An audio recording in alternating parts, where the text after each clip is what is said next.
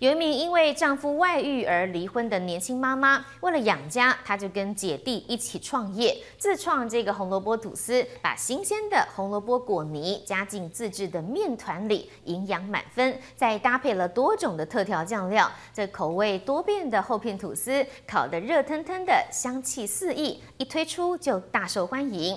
单亲妈妈走出了离婚的阴影，也走出了自己的路。制作红萝卜吐司的工作室门外却不断有人等不及网购，专程来选购。半条六片，一条十二片。那你看一下一条半条。那我要一条半。奶酥的口味蛮特别，不会很干。那自己烤起来的话，就很香。甚至还有常客一拿到吐司不啰嗦，现场大快朵颐。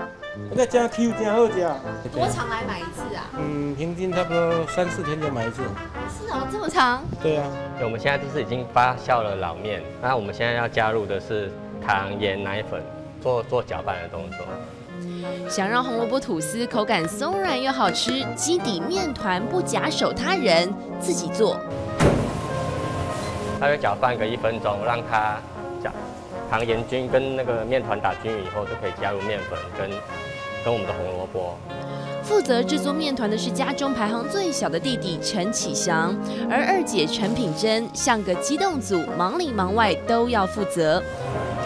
面团加入红萝卜泥之前，没看没人会知道，原来过程如此繁复。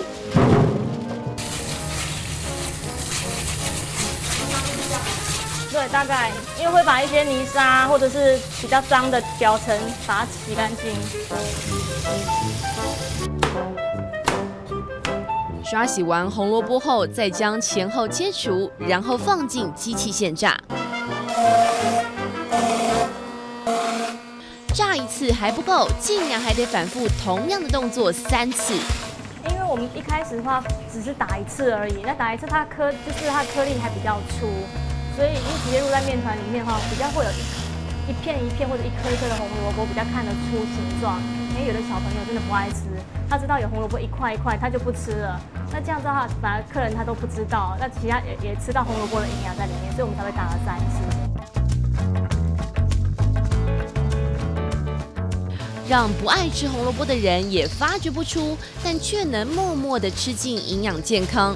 接着面团搅拌完后，辛苦炸成泥的红萝卜就要登场。现在我们加入了面粉，然后还有红萝卜，还有再来是冰块跟水。再搅拌九分钟。那面团在搅拌到中间的时候，就要加入酥油。这酥油是要让它增加它的滑润的口感。最后一个步骤，为了搅拌均匀，得先逆转搅拌才能顺转，才算大功告成。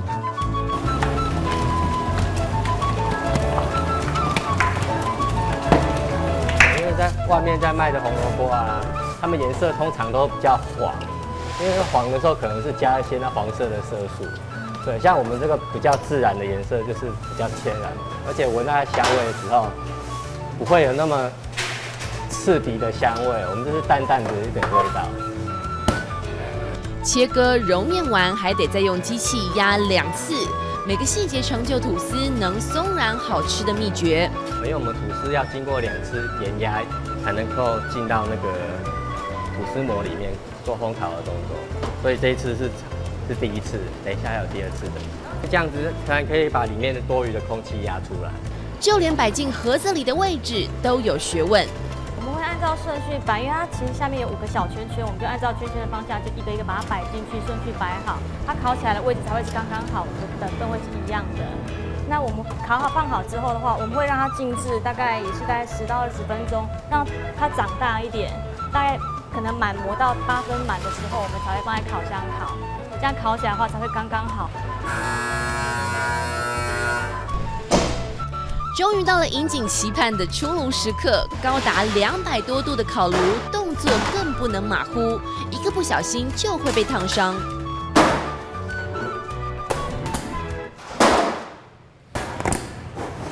快速的把刚出炉的红萝卜吐司放到架上静置，等稍稍降温后，才能切成厚片涂酱。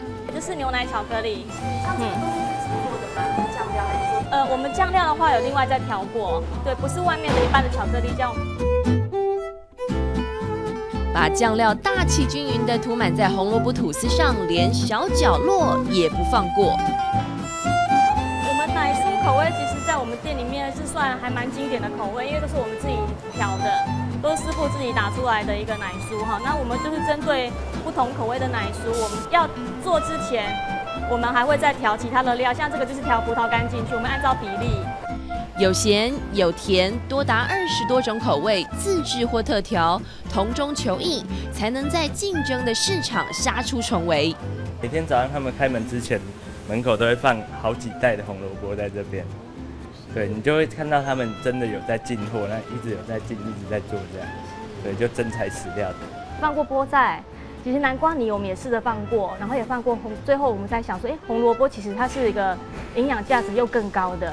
然后一年四季又比较好，比较容易取得，所以我们就决定说，就是以这一样这样的红萝卜东西来添加在里面，这样子，然后可以让一般人可能平常吃不到的营养红萝卜素可以吃到这样，因为还蛮多人不爱吃红萝卜，这是重点。当时灵机一动，想到把红萝卜泥完整添加在吐司里的，就是陈品珍。听她温柔的声音，看她可爱的笑容，许多人看不出来她已经是一名高中生的母亲，更是坚强的单亲妈妈。两个已经没办法婚姻，没办法走下去，通常应该是小孩子是妈妈会比较想要带在身边嘛。对，因为你会，因为你会发觉先生是个可能比较没办法带小孩，你你反而给先生带，你反而这个小孩以后会变成什么样子，这我们没有办法去预测的。你反而带在身边，你会比较安心。离婚那年，他才二十八岁，带着女儿从零开始。因为后来发现是他跟自己同公司的同事，所以才会发现。如果不是跟自己同公司，我可能还是不会发现的。也就大摇大摆的，就是一起出差啊，出差就是一起啊，然后房间也同一间啊，就是这就是很已经很明明目张胆了。二十一岁结婚，二十二岁生女儿。当年遇见比她年长十四岁的前夫，以为对方会疼她，没想到婚后男方却外遇不断。被她发现后，想离婚还离不了，直到她前夫出车祸上新闻。他那个时候车祸，然后他是酒驾车祸，那时候也有上新闻。嗯。就是也是跟那时候的女朋友啦，可能就是去丰年祭，然后开酒驾之后开就是开车酒驾，后来很多人就发现说，怎么会是车上的女生？对对对，车上的女生不是你。对，但是他那时候是讲说那个女孩子是他的未婚妻，但是我们都还没有离婚。那我也是从新闻看到的，然后那个时候我小孩也是从新闻看到说爸爸怎么会在电视上。都还没离婚，不断隐忍先生外遇，最后竟是在电视上亲眼看见丈夫说外遇对象是未婚妻，听在耳里，字字都变利刃。陈品珍心如刀割，所以我很多朋友就打电话问我说：“哎，为什么以前不有女朋友？为什么有未有未婚妻？要把他跟未婚妻出去玩什么的？然后丰年祭导致这样，有没有未婚妻？对，所以那整个就是一个乱扯，然后乱扯。”所以他后来自己可能觉得真的很对不起我。后来他为了这件事，因为这件事情都他才跟我离婚的，他才肯离。因为我之前一直拜托他，就是不离。他认为说他就是可能他要好好折磨我，啊什么之类的，他就这样讲过。摆脱不快乐的婚姻，坚持要自己养孩子。他之后做过房仲几年，但收入不稳定。因缘际会，原本是幼稚园老师的大姐决定离职，弟弟也不想一直待在面包店里当师傅，三姐弟决定创业。今天都一夜长大了，好险没有一夜白发。反正走过就是就是经过，我就觉得还好。我现在反而觉得不会怎么样了啦，早就原谅了啊。对，因为你有自己的人生要过。对啊，我反而觉得这样子反而对我比较好。路是艰辛走出来的，正因为人生多绕了几个弯，才发现原来人能那么坚强。我们也是从零开始，什么都没有开始，这样慢慢的做，可以做到现在这样。其实我跟我姐还有我弟，我们三个其实都还蛮感恩的。然后而且又我爸又帮我们做，就让我们也可以少再请一个人手在。咁嘛家里边那啲白白人斗做安尼，都要就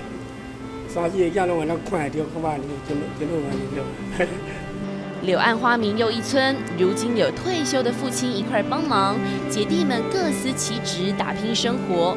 现在看在陈品珍的眼中，他说：“活在当下，珍惜眼前的风景。”营养好吃。